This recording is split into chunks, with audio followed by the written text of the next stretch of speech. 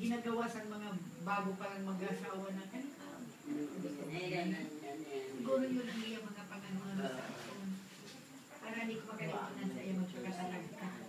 Ha? Mm. Magpakatatag ka. Kaya maturo na. Buti nga walang pasok bukas. Mm. Sumama. Buo. Alam na ba nila no ba nga?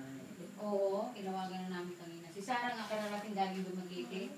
Kasi siya ang nagdala ng budget ng ano, mga athletes na ano, ng laro doon sa palarong pambansa.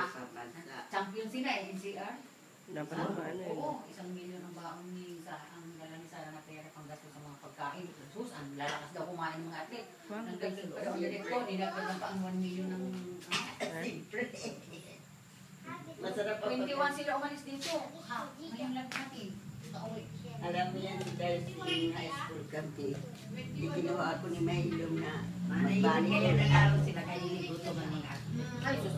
Atong laban ni, kaulat na Kaya si Darsing, graduating kami, hindi nakagraduate yan, naka-attend ng graduation kay, hindi ba, may Doro sa Masbate, nag-Bombay yan sila dito, yung asawa na pilot, Oh, yung yung Doro. ba? Yung Doro Nakita naman. yun si.